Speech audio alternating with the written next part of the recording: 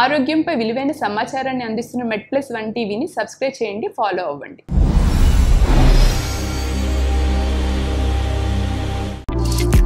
చలికాలంలో గుండె జబ్బులు పెరిగిపోతాయా?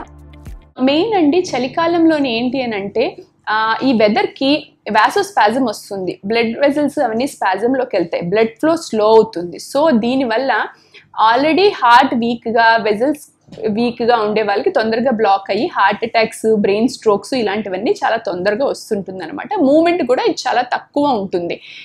మీరు సమ్మర్లో యాక్టివ్గా తిరిగినట్టుగా వింటర్లో తిరగరు. వింటర్లో సగ్గిష్గా ఉంటారు. కొంచెం స్లోగా ఉంటారు. కొంచెం లేజీగా ఉంటారు. సో బ్లడ్ ఫ్లో కూడా కొంచెం తక్కుతూ ఉంటుంది అనమాట సో అందుకే యాక్టివ్గా ఉండాలి physical activity as a part and పార్ట్స్లో of your మీ డే ఉండాలి. ఎండ్ వచ్చినప్పుడైనా వాక్ చేయాలి బయట తిరగాలి అనేది చెప్తూ ఉంటారనమాట మోస్ట్లీ సబ్ నార్మల్ టెంపరేచర్స్లోనే వాటిల్లోనే బ్లడ్ ఫ్లో స్లగ్గిష్ అవ్వడం వల్ల స్లో అవ్వడం వల్ల హార్ట్కి బ్లడ్ ఫ్లో తగ్గడం వల్లే హార్ట్ అటాక్స్ బ్రెయిన్కి తగ్గడం వల్లే బ్రెయిన్ స్ట్రోక్స్ వస్తుంటాయి అనమాట so winter season is not a healthy season కానీ ఈ టైంలో మనం హెల్త్ని ఎలా ఇంప్రూవ్ చేసుకోవాలి అంటే మన ద- మన దగ్గర ఉండే ఇలాంటి ప్రికాషన్స్ తీసుకొని సో మేక్ ష్యూర్ మీ రూమ్ టెంపరేచర్ కొంచెం వేడిగా ఉండేటట్టు చూసుకోండి.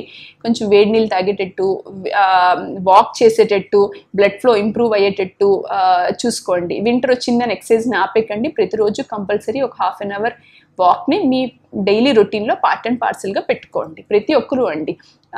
చల్లగా ఉంది ఇంట్లోనే కూర్చుంటాను అలా కాకుండా ఏదో ఒక టైంలోన make sure that you walk